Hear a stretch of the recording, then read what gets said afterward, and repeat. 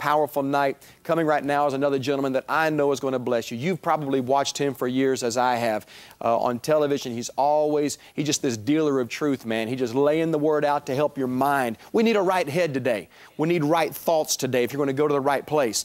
And tonight we have a man that's going to help us with that. The proper introduction to this man goes like this He's the founder and senior pastor of Life Changers International Church in Chicago, Illinois host of the Power to Change Today International Televi Television Ministry. He's a host of Ask the Pastor, a live radio and internet program heard five days a week, author of multiple books. We are blessed to have with us tonight. Help me welcome Pastor Gregory Dickow. Would you do that? God bless Thank you. you. Such a joy to have you tonight, My Pastor. My pleasure. Great to be here. It really is.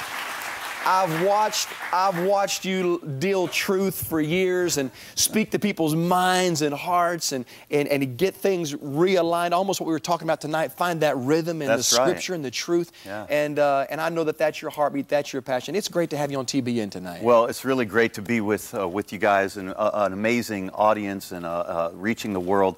What Paul and Jan are doing, like you said earlier, somebody said.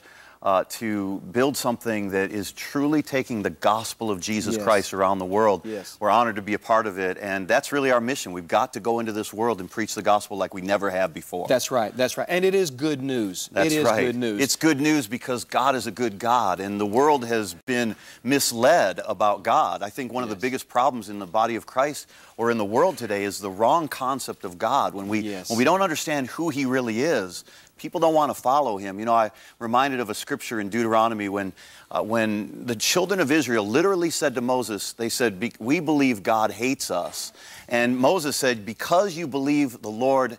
hated you, that's why you died in the wilderness. It's Yes. because they really had a wrong concept of God. They thought God was against them. They thought God didn't understand what they were going through. They thought God had departed from them.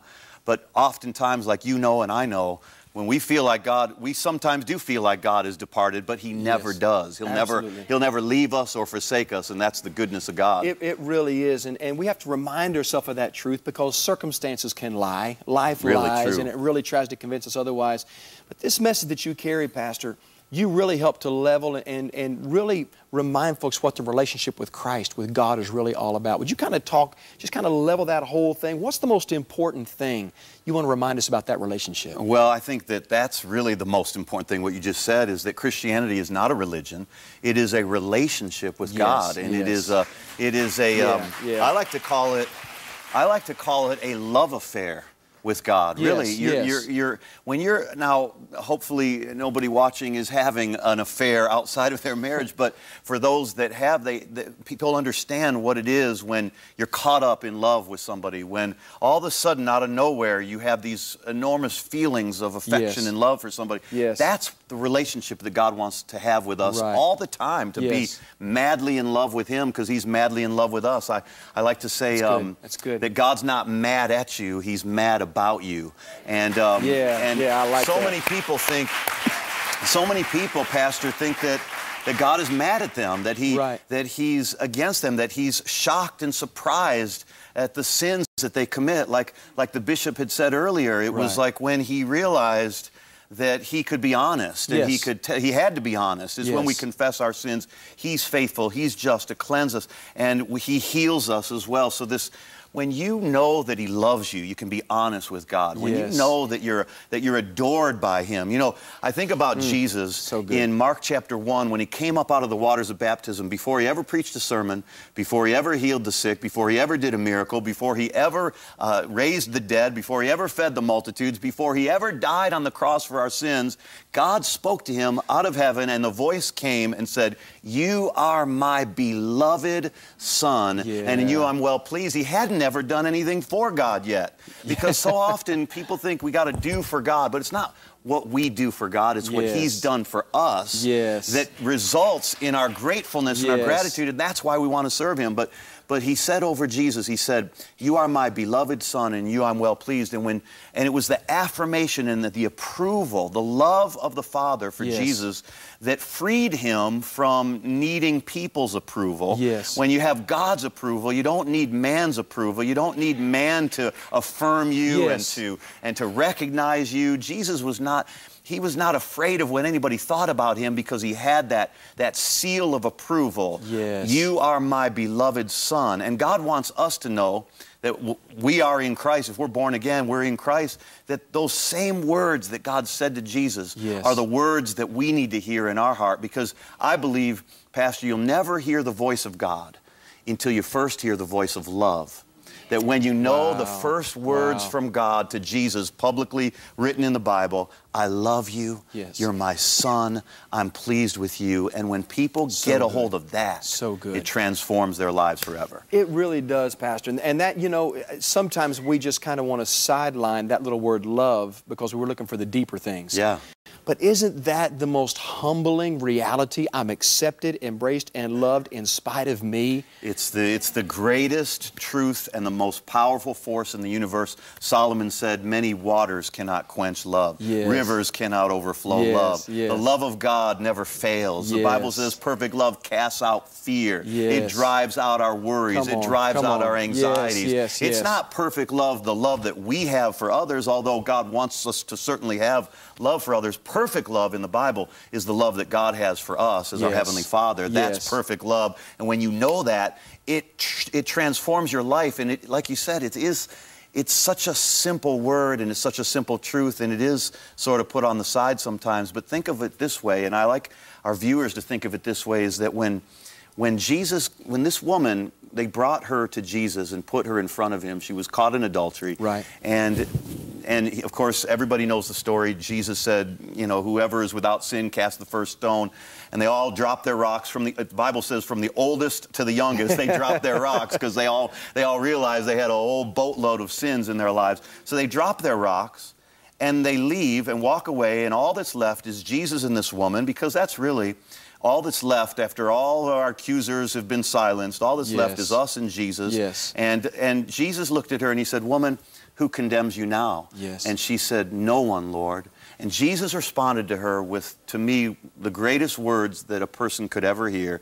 And he said, Neither do I condemn you. Yes. And then he said, Now go and sin no more. Right. Religion has it backwards. Churchianity has it backwards. There you go. Religion says, Go and sin no more, and then God won't condemn you. But God says, I don't condemn you. Yes. Now go and sin no more. In other words, love and forgiveness and mercy comes first. Yes. And then that produces the power to go and sin no more. He, she couldn't have gone and sinned no more until she first knew she was forgiven and Yes, loved by God. Absolutely. That is so good. That is so good. That is so good. I, I think back to the story when the four friends brought their friend who was uh, had, had the uh, the palsy and they were letting him down through the roof. Yeah. And the first thing Jesus said is, "Son, Yeah. your sins are forgiven." He gave him position before That's he right. addressed the condition. That's, that's good. That's it. And I think we have to bring that back around again. Boy, realize he loves me right where I am. He gave him affirmation. Yes. He gave him affection. He gave him love. He included him. He called him his own. Yes. You're my son. You are somebody. You are in my family now.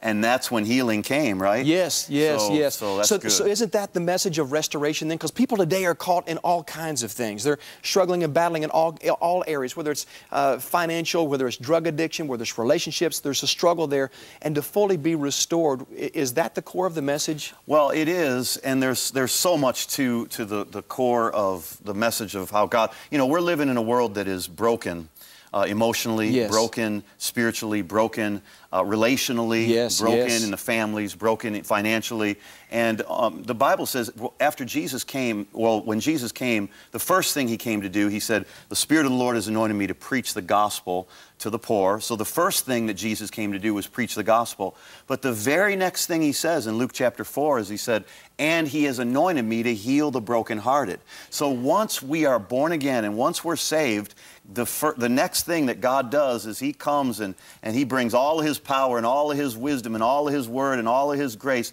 to heal the brokenness in our lives. Yes. Broken souls, broken marriages, broken families, broken hearts, broken finances, broken bodies. So restoration comes first from knowing the gospel, knowing God is good, knowing that He loves us, and then God begins to heal us. The anointing comes to heal us through the Word of God. Yes. Paul- uh, uh, David said, Restore my soul, Lord. He restores my soul and Yes. then leads me as my soul is restored, Yes. as my mind is renewed, as my soul is, is, is prospering, then the rest of my life follows. Yes, and and and that's that's one of been uh, the predominant message that I remember you leading so powerfully on dealing with this thinking, Yes. Helping people create a rhythm of the right thinking based on God's word. Forty days, in fact, Yeah. of thinking right. T- tell us about this. Well, a few years ago, um, I was just I was frustrated, and you know we have uh, we we all encounter something that I like to call divine frustration. You felt it, Yes, I've sir. felt it, we've Absolutely. all felt it, where we're frustrated, but it's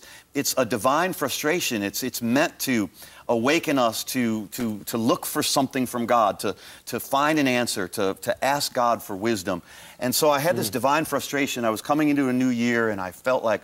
I, I saw so many people starting and stopping New Year's resolutions and starting and stopping to quit things or to give up things or to change things or to lose weight or to stop smoking or to overcome their anger. And, Right. and yet it, they, they would do it for a few weeks and then, of course, a few weeks later, people give up on their resolutions. They, they don't really see lasting change because Right. willpower just isn't enough Yes. to, uh, to change us. And so I said, Lord, I'm so frustrated seeing people trying new things. They even try to, try to exercise, try to diet, they try to fast, they try to do all of these things. And I heard the Lord say, I want you to call a 40 day fast. And I said, Lord, I'm hungry. I don't want to call a fast. I'm not calling a fast. I like to eat, Lord. And, and all the people in my church like to eat. Nobody's going to show up for church if I call a 40 day fast for sure. And, um, and, and the Lord said, not a fast from food. And I've never heard this before. It had to have been from God. And He said, call a fast from wrong thinking.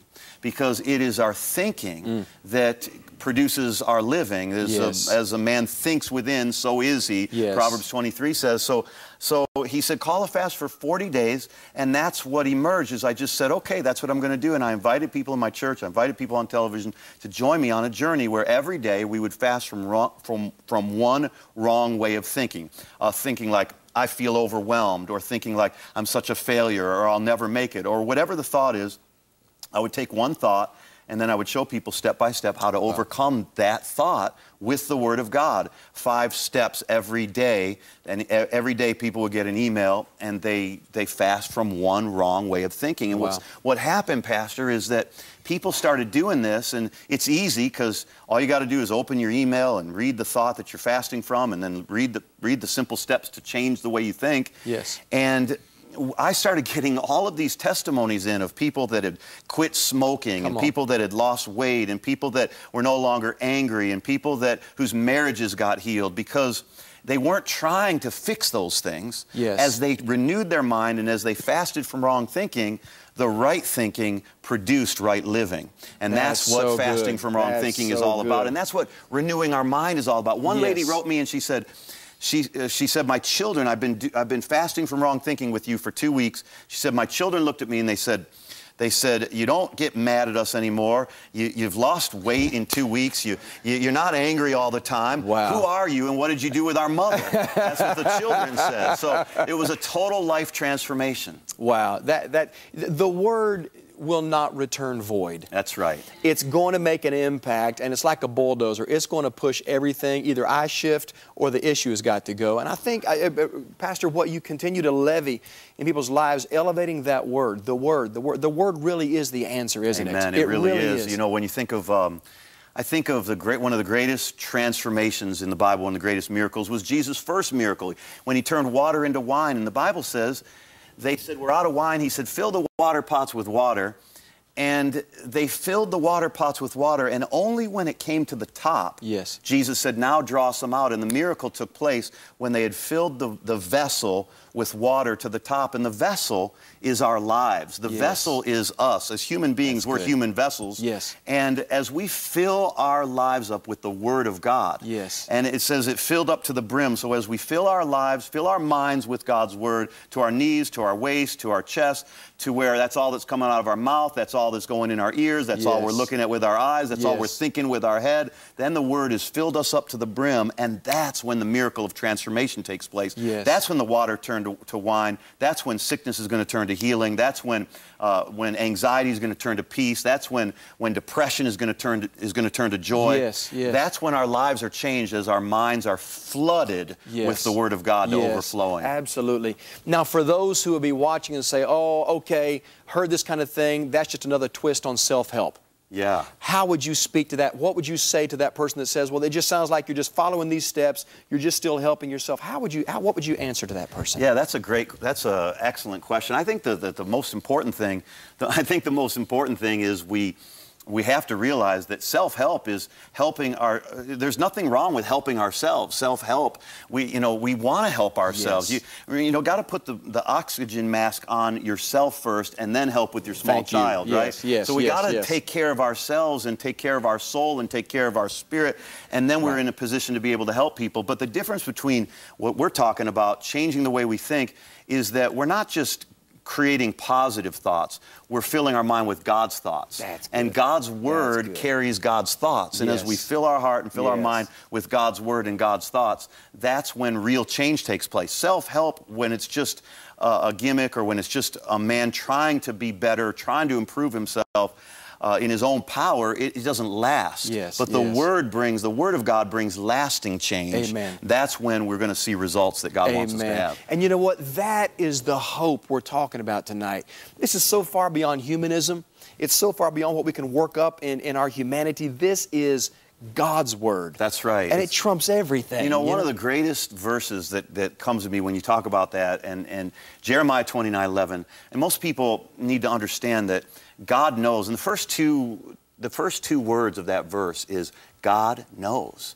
He said, I know. Wow, yes. I know. I think people need to know and they need to That's feel good. that God knows what you're going through. God knows what you're feeling. Yes. God knows what you're struggling with. Jesus himself struggled in Mark chapter 14. The Bible says he was so weighed down by the anxiety of people's sins, by the, the weight of the responsibility of going to the cross, that the Bible says he despaired for his own life. He, he, was, ready to, he, was, he was ready to turn away from Right. the mission that he had to go to the cross. yes. And the Bible says that he, the first thing he did was he fell on his knees and he worshiped God and he prayed. He was depressed, like many people watching. He was discouraged, like many people watching. Yes. He, he, was, he felt everything we feel, yet without sin. Yes. I think people need to know that we serve a Savior. We're saved by a Savior who has felt every weakness that we've ever felt, every temptation we've ever felt, Right. yet without sin. And yet, we need to know He knows what we're going through, and He has a way through the temptation to quit, the temptation to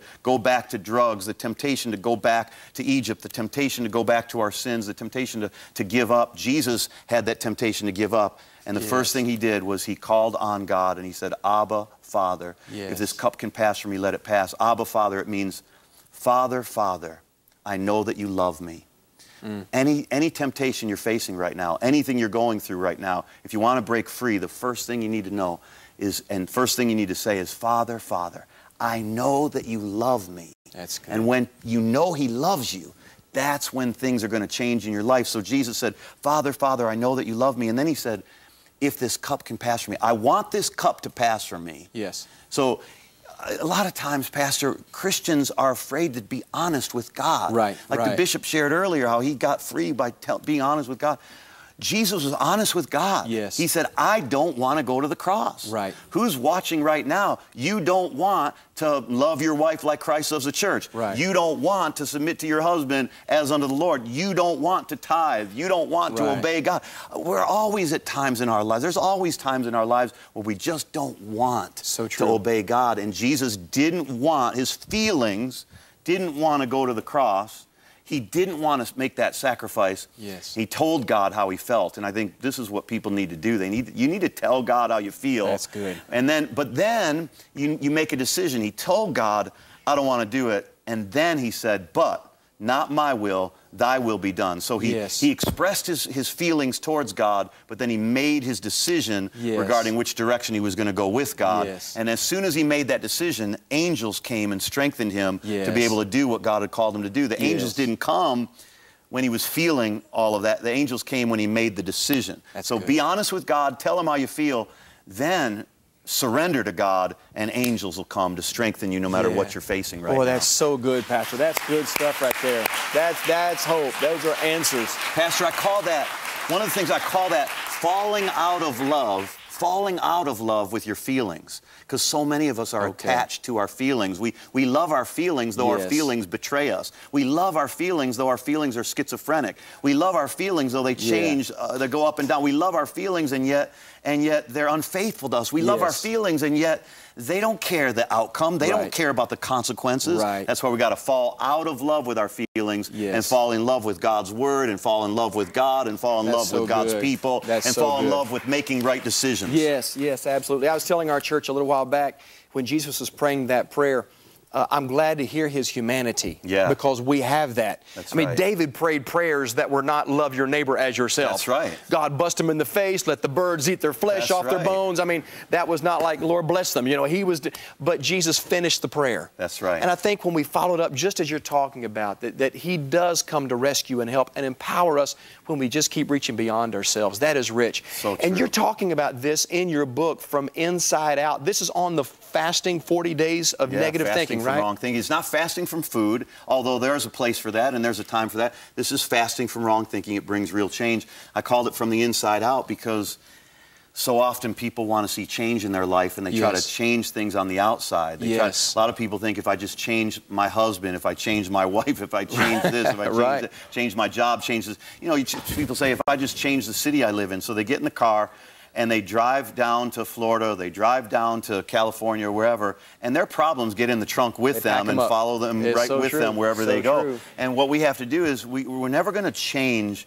by changing on the outside. We can only change by changing uh, our, the way we think on the inside because Yes. that's what produces the change on the outside. It is literally a transformation. It's the metamorphosis. It's the, it's the caterpillar going into the cocoon. Yes. And I like to call the Word of God the cocoon as we wrap ourselves with the Word of God. Yes. Then we, that becomes our cocoon and it transforms us on the inside and then our day is coming. Your day is coming where you're going to break out with the wings of a butterfly and the beauty of a butterfly as you wrap yourself in the cocoon of God's Word. Amen. So be it. Oh, we say yes and amen to it. That's so good, Pastor. I want to ask you to do this if you would. Would you please pray for somebody tonight who maybe feel left out? They don't know which way to turn. They've heard what you've said. Mm-hmm. It's truth that resonates in their heart. It feels good because their spirit is alive. God wants to connect with them in that. Would you just kind of pray and help them just take that next step? Yeah, and the first, the first thing I'd like to pray for people about is there are so many watching right now and you're not saved. And you may turn the channel in a minute, and I don't want you to stay for the whole program, but right now, you know that you need a Savior. You know that your sins, though they are many, they can be washed away. We've all sinned and fallen short of the glory of God. God wants to save you. He wants a relationship with you. It's not rules, it's not religion, it's a relationship. Pray right now if you'd like to be saved. Just pray this out loud and just say it with your mouth. Just say, Heavenly Father. That's it. Just say that. Just say, Heavenly Father, I receive Jesus Christ I Receive Jesus Christ into my life into my life as my Savior and Lord. as my Savior and Lord. Just say this I believe I believe the blood of Jesus the blood of Jesus cleanses me cleanses from me all my sins. from all my sins. and from this day forward, And from this day forward, I am forgiven. I am forgiven. I am loved. I am loved. And I am a child of God. I am a child of in God. In Jesus' name. In Jesus' name. If you prayed that prayer, there's hopefully a number. I'm, I'm sure there is a number on your screen, and you can call that number and tell somebody, get, get one of these great prayer partners to pray with you and to talk to you. Let them know, let somebody know. And I pray for those that are struggling. You're depressed, you're discouraged, you feel alone, you feel hopeless.